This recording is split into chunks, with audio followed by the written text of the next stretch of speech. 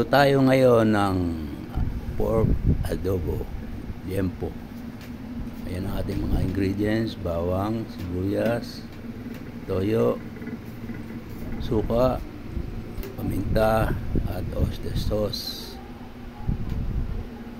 Let's start cooking. Mantika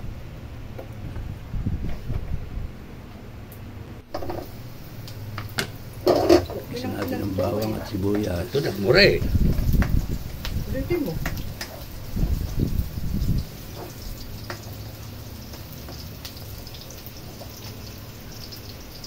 Gisa-gisa. Lagyan natin ang ating pork liempo.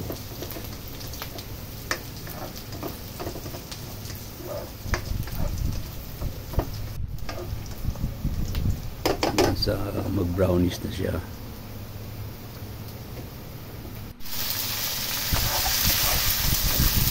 Next step,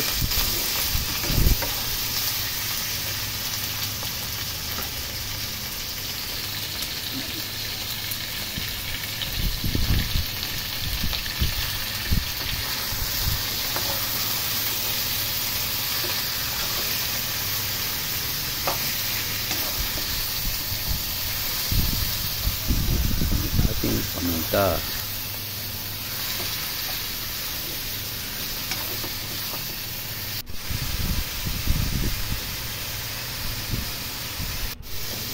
Sunod natin ang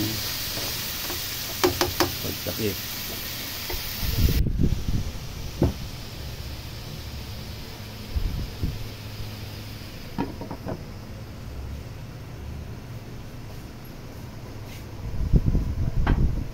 Next step natin ay at ating toyo.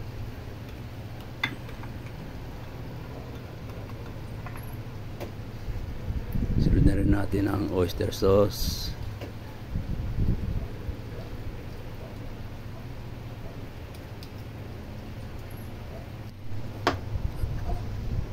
Palambutin lang natin hanggang sa mag-brownish na siya.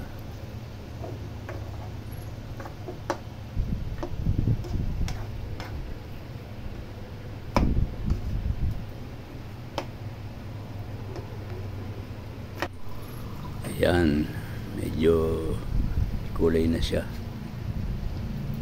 Tignan natin ang tubig para lumambot ng konti.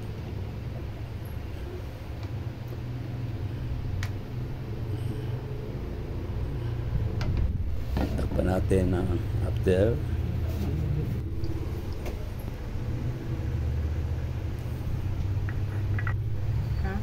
Yun, dala natin ang ating suka.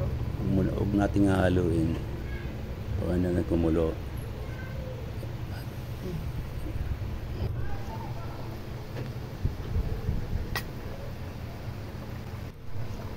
Ayan, palambutin lang natin yan. Pwede na yan.